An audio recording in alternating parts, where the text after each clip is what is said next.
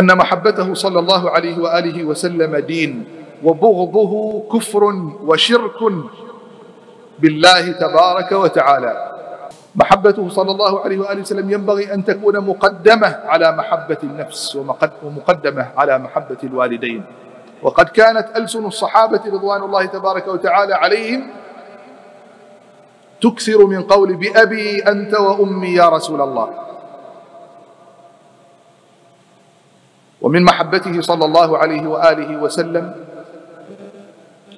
غرس محبته في قلوب الصغار والحديث عن حياته وسيرته وسنته ونسبه الشريف وأبنائه وبناته وأزواجه غرس كل ذلك في قلوب الصغار وتنشئتهم على حبه عليه الصلاة والسلام. ومن محبته صلى الله عليه وآله وسلم كذلك اتباعه ظاهرا وباطنا. هكذا قال أهل العلم أن من محبته صلى الله عليه وآله وسلم متابعته في الظاهر والباطن. فأما متابعته في الظاهر فالتأسي به وجعله الأسوة بحيث لا يكون للإنسان أسوة ولا قدوة غير رسول الله صلى الله عليه وآله وسلم. وإنما كل أسوات وقدوات الخير منبثقة من مشكاة محمد صلى الله عليه وآله وسلم.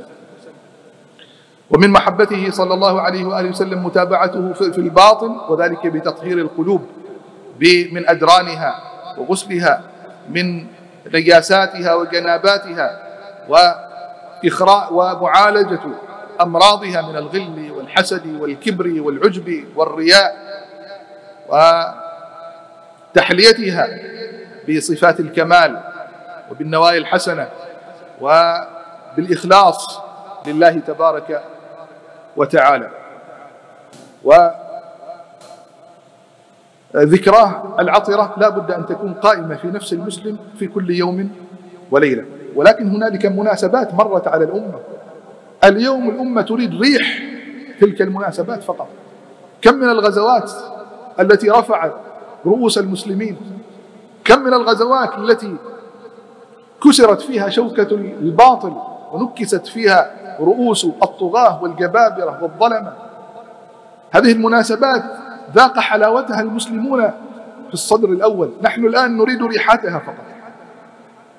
نريد رائحتها فقط. فمن ذا الذي يقول بأن تذكر هذه المناسبات آه، بدعة أو لا يجوز؟ هذا بحاجة إلى أن يراجع نفسه. نعم إن كان يصحب هذه الذكرى ضرب الطبول والدفوف وتوزيع الأطعمة ولبس ملابس خاصة كأنها الأعياد.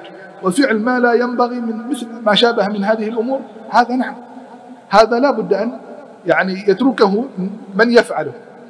لا بد أن يتركه لأنه المقصد أو المقصود والمراد من آه، إحياء آه، هذه الذكرى هي إحياء سيرته صلى الله عليه وآله وسلم. وهذه المناسبات كانت لها أزمنة وأوقات. لا نريد من الأمة أن تنساها. فلأجل أن لا تنساها نذكر بها بكلمات بسيطة ليس إلا. بكلمات بسيطة ليس إلا. وهذا لا يخالف دين الله سبحانه وتعالى في شيء ولا يصادم كتاب الله تبارك وتعالى بإذن الله.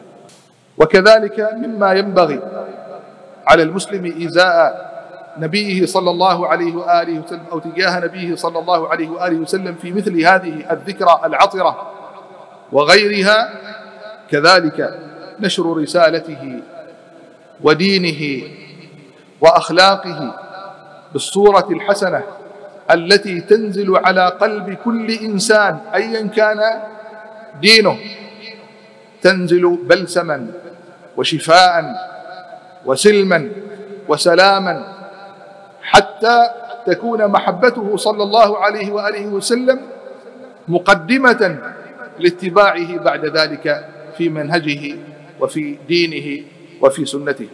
وكم من الناس لما قرأوا عنه صلى الله عليه وآله وسلم ورأوا من كمالاته ما لا يحتمله بشر وقعت محبته عليه الصلاة والسلام في قلوبهم ودخلوا بسبب تلك المحبة وببركة تلك المحبة وبهداية الله تبارك وتعالى دخلوا في دين الله تبارك وتعالى.